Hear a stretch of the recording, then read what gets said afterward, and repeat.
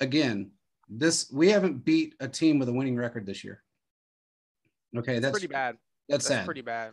Okay, that's number one. Other than Cleveland, I mean, I don't know what Cleveland's record is right now, but Cleveland was the only team we had beaten at the time, and, and I don't know what the record is now. I haven't even looked, but um, that was the only team that we beat that was a strong football team, and that was when we had our all of our confidence. Everybody was playing up par, up to par, and it seemed like it seemed like everybody was together then and then things started to go downhill and it started to go downhill think- very quickly Mhm. week two on has been bad i'm sorry but it has been It's been, well, actually, I would say week one was pretty horrendous. What Spags not making adjustments, yeah That and then Yeah. we saw probably by the third game the offense is having issues, which we've never really seen before. But they need to get someone a phenomenal player that can help change this because if they can't get someone that can change the mood of this defense, I don't even know know what's gonna happen, man. But real quick for you, bro. Frank Clark, do you think it's time to cut him and move on? You can't cut I've him. been on his I have been on his side for so long and I I, have have not seen nothing. I have not seen nothing, and I think at the point they need to move on and figure Uh, something out. here's the thing though. You can't cut him though. You can't. I mean, they gotta do something, man, because at this point, here's I'm the not trying problem. to be negative, and I've i'm not either. been- i'm on your Okay, go side with that. I'm on your side with that. I don't mean to cut you off. Number one you can't you're not going to find a team a team that's going to trade for him for his contract okay? Oh, eh, yeah, that's, That's true, number that one. Number two, what are we going to do? Have a $37 million dead cap hit? We can't have that either. So we got to figure out a way. uh, Look, I understand the business side of this, and I get the fact Mm. that you're paying a guy this kind of money, so you want him out there playing because you're paying him to play. But in the same aspect, if you're paying him to He's play and he's not producing, then you've got to find somebody that is going to produce and maybe restructure his contract. If he's not willing to restructure, then there's other ways of getting him out of this this contract. But it takes a lot longer to do. It But just sa- seems like. mm, Go ahead. Sorry. Go ahead.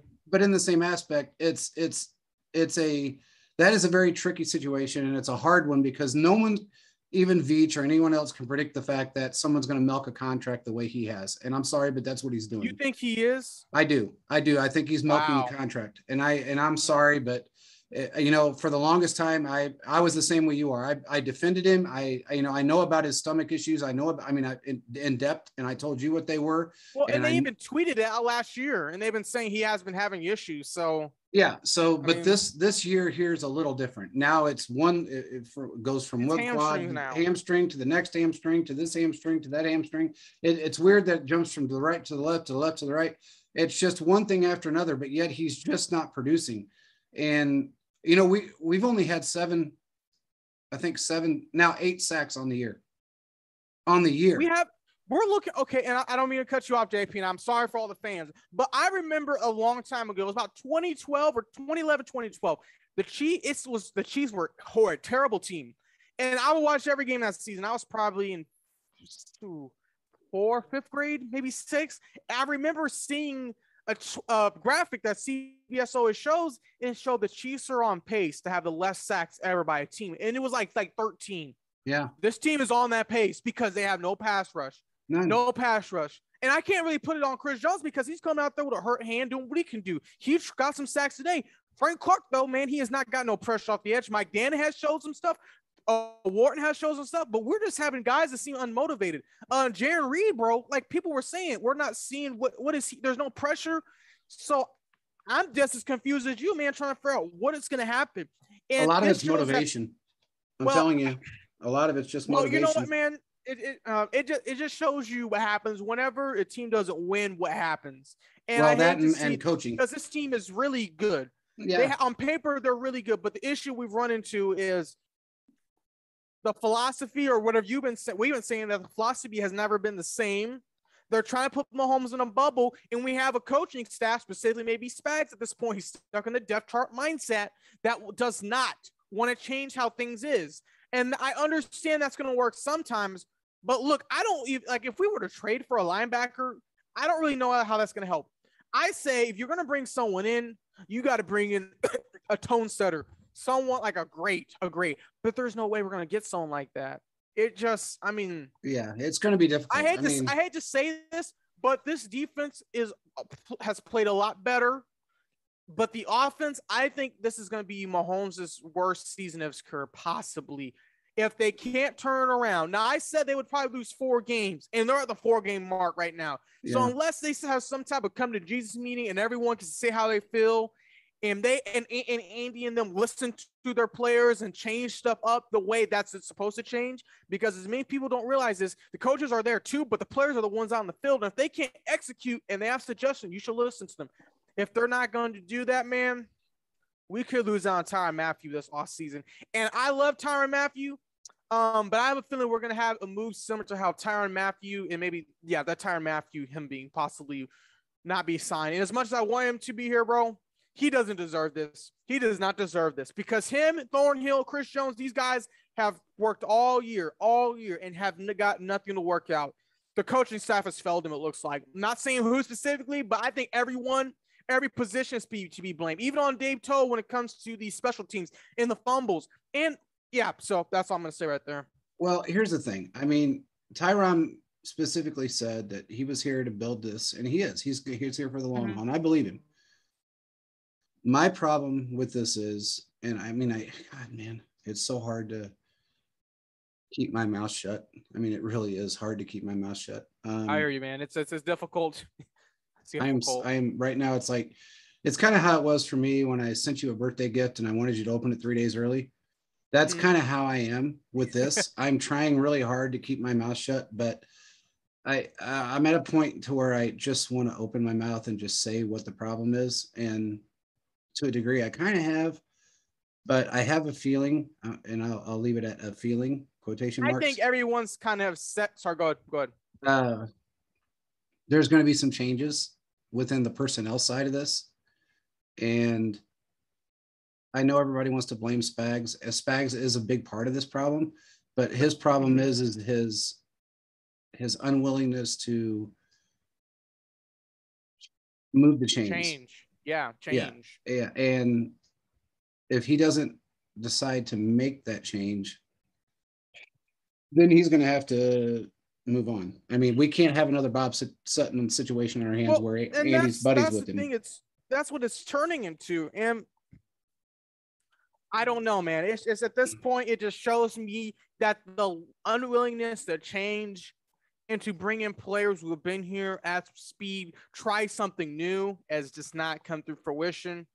And I am not a coach, but from what I've seen, and we've been doing this, JP, you've been part of the game for 20 plus years, and I've been part of the game as a casual fan that been diving into it, running this account for last ever since Mahomes basically started his era. I have put a lot of time into learning about this team, learning about the different things, how everything works.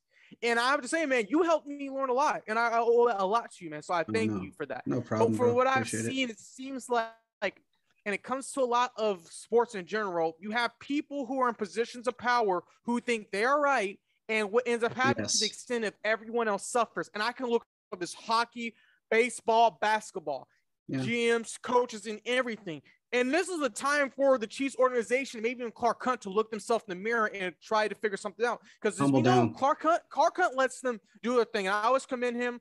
I may not like some of the stuff he's put out in the past here or there. Everyone's gonna have different opinion. But however, what I was trying to say is maybe it's time for him to step in and see what he's doing. Because as you know, when Clark Hunt during that season they won the Super Bowl, when they went to Missouri Western and they had the train camp, there's a video of him saying, Last year we almost achieved our goal, this year we're gonna do it. They need to have someone like him come into a tone stutter or someone. Get someone to speak with a team, man. I don't know, bring in Bobby Bell, bring in Trent Green. Um, I don't know, bring in Jamal, bring in someone. I mean, if DT was here, maybe. I don't know, man. But you know what I'm saying, bro? Uh, bring in someone that could talk. Huh? Sorry, what'd you say? DT would make a difference. He I mean, just definitely- bring in someone that could talk with them because they just don't look like the same guys. And I, I hope they can, I hope they can turn around. I really do. But I think they need to have one of the guys who was around this team from the beginning, what rides to like a Tamba, to come there and talk with them because this just isn't the same team. It's just sad to see. Well, like I said, I mean, I think we're going to see some changes coming fairly quick, and I got a feeling this week there's going to be at least one change, um, pretty quick. Uh, um, there I go again. Um, anyway, look, the the tone is set. When I when I played ball, the tone was set by.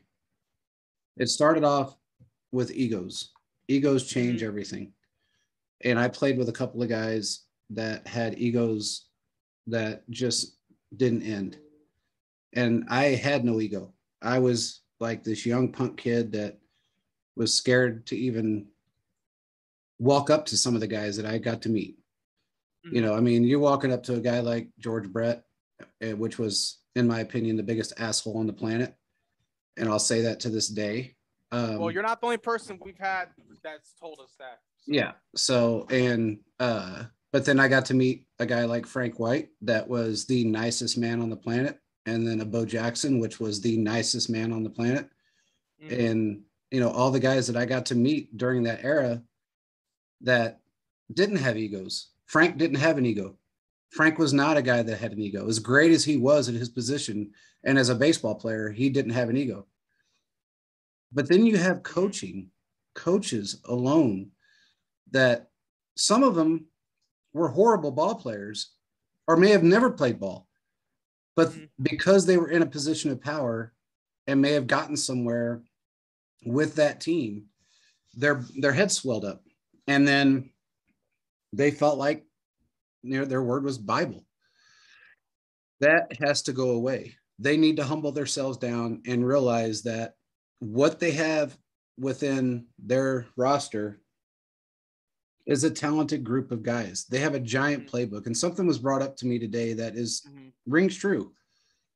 We're playing the same, you know, we haven't changed really a lot within our offensive scheme, other than the fact that we put Mahomes in a bubble for the last three years. And that's Mhm. stuff that has to change. You've got to, we've got a giant playbook. Open it up, use it, use the playbook for what it what it's meant for. Andy didn't write that thing to let it sit. And It just seems like they're doing vanilla offense from last year. They haven't really opened it up. they haven't just- opened it up. like, and that's the game, problem. They always start with the flea flicker to Tyreek Hill to bust open the game. yeah. Um, Eh, change it up maybe and do something to where it looks like it, but it's actually going to hard. I mean, it seems like they're just not doing what it's used to be used to be in there. And look, I've been a fan for many years. I have made a personal decision to say, regardless they win or lose, my life goes on. They aren't gonna. They make my. If they lose, they make me happy. If they they don't, oh, I mean, if they win, they make me happy. If they don't, oh well. But I'm at the point where it's like this: either something's gonna change, or it's gonna be a big what what if on Mahomes' career right now because he has no help. He has no help, and it's just frustrating to see because these players collectively are a great unit. They know what they're doing week in and week out. I don't know why. And here's another thing. You know, they brought Josh in for a reason. I've yet to see him get utilized. It's not, he can be out there. I don't know why they're not putting him out I there. It makes no sense. Um, Throw it up to him. I mean, just I don't know. yeah, it, it just doesn't make sense. You know, another, this was another game that I honestly thought that they were going to let Mahomes free and let him do his thing. And you saw what happened, you know, him sticking in the pocket and waiting it just a bit too long in the pocket almost got him killed. You know, about got his neck broke. Mhm. And It's just not good to see. no, it's not. And it's sad. And you know, one thing that was also brought up to me as well, um, it would almost be good, honestly, and I as much as I hate to say this, it would almost be good to let Mahomes sit a game. And there's probably an unpopular opinion, but we're playing who the Giants next week, right? Yeah. Yeah. Look, it may not be a bad plan, and it may be a bad plan. I don't know. But maybe for his own stability and Mhm. His own um, just reflection, let him Mhm. just sit, relax, and reflect on what's going on. I don't know. Okay. Um, I, I don't know what else to say at this point, but I know that if they don't change things up and they don't start utilizing him to his strengths and let him do his game, he's going to get hurt. I said Yeah, this three weeks ago thing. That he has been getting hurt and hit more than he's ever been hit before.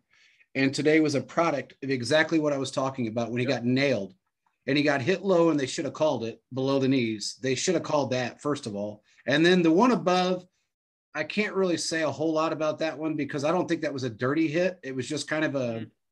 It was a product of how you're going to slow down type of